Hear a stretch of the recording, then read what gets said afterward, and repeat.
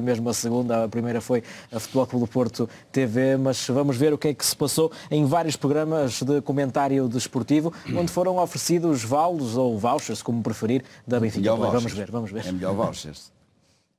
Pedi que me fossem ali buscar os, os, os, os, presentinhos ao carro, se chegam tarde, os presentes de Natal, mas porque, porque eu sei que está aqui um conjunto de pessoas, em particular o Rodrigo e o Paulo, naturalmente, com, com uma, uma uma necessidade e uma, uma, um interesse muito grande nos bastidores do Benfica, eu trago-vos aqui umas não assinaturas de 12 meses do, do novo serviço Benfica Play. Nada, amigo, nada. Tenho para, zero, para, para o Rodrigo. Foi lançado na semana passada o Benfica Play, que eu deixava aqui para dar aos representantes todos.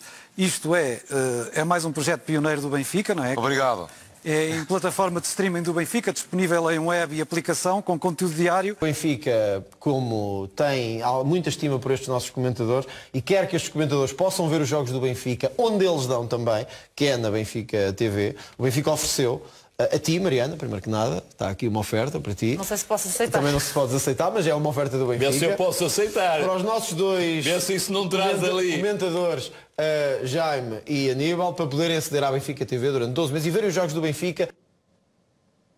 Mas olha, aqui ninguém nos trouxe vouchers, nem vales, não temos direito a, a ter Benfica Play, mas isto é, é, acaba por ser muito engraçado porque parece que vamos àquele encontro da cartilha, porque não foi só um comentador, foram vários não, isto que é uma direito a, a oferecer vouchers. E é prova de que continua a haver uma mente superior que dita o que é que estes senhores, comentadores ligados ao Benfica, têm, podem e devem fazer nos programas onde estão.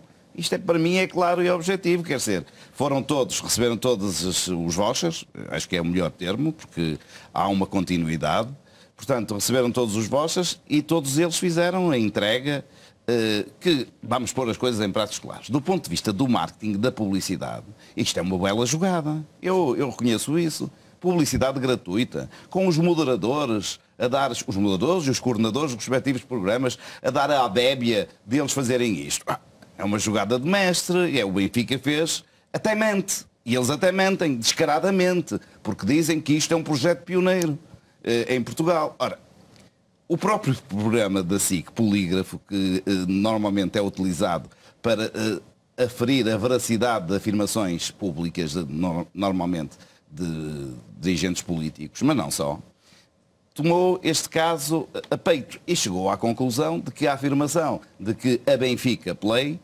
ser uma novidade, uma estreia em Portugal, é uma falsidade, é uma mentira. Não há outro tempo, porque há seis meses atrás, mais ou menos, no verão, o Futebol o Porto lançou a Futebol o Porto TV, que é exatamente a mesma coisa. Eu sei que isto é uma plataforma de streaming, eh, é uma plataforma digital onde se pode ver conteúdos do Futebol o Porto, no caso da Futebol o Porto TV, e na Benfica Play é ver conteúdos E não se tem falado disso, mas também no último verão o Braga também lançou, lançou uma... uma, uma sei, acho é, que é... é, um canal de televisão pela internet, é uma, um, mas é, é, não é propriamente... Sim, mas também é... Mas é, é também uma iniciativa uma digital e é uma plataforma género. lançada para a informação dos seus sócios. E, portanto, eh, é preciso ter muito cuidado quando se diz, como propaganda, que isto é uma coisa pioneira, inédita no Portugal e pouco vulgar em todo o mundo, porque era, fazia parte da cartilha, dizer que isto não era só em Portugal que era pioneiro, era também eh, se calhar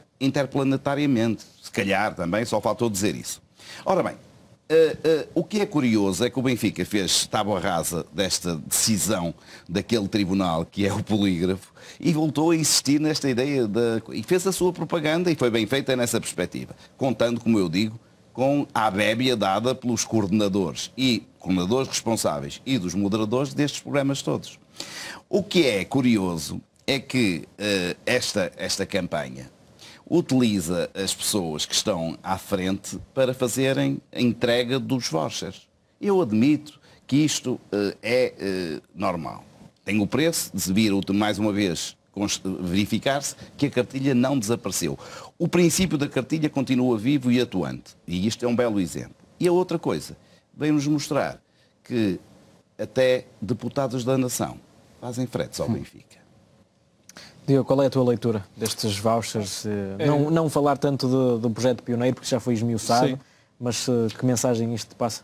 Passa, é uma confirmação de, de, coisas que nós já sabíamos. Ontem à noite eu vi estas imagens no, no Twitter. Quem passasse pelos canais uh, de informação ali por volta da uma da manhã, via que na SIC Notícias, na RTP3 e na TV 24, ao mesmo tempo estavam a dar notícias sobre uh, o ataque iraniano a bases dos Estados Unidos no, no Iraque. E exatamente ao mesmo tempo a CMTV estava a dar uma coisa sobre um assalto a um bordel.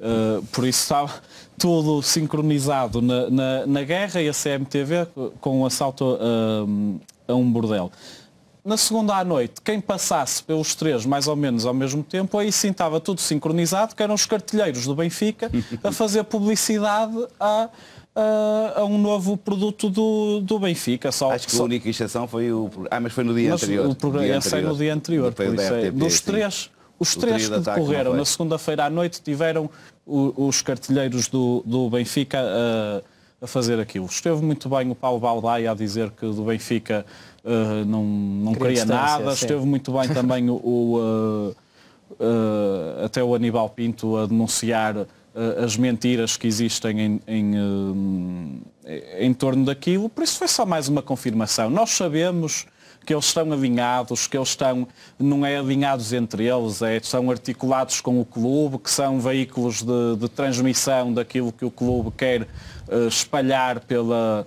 pela, pela população em geral, pelos adeptos do, do futebol, não é? Porque à segunda-feira à noite temos ali três espaços em que durante uma hora e meia o Benfica tem representantes que estão a dizer as coisas que, que, que, que eles querem, por muito que alguns queiram afirmar independentes e depois façam, façam umas críticas em coisas que não são fundamentais para depois no fundamental convergirem todos, que é na defesa, uh, na defesa da forma alegadamente limpa como o Benfica tem ganho troféus nos últimos anos.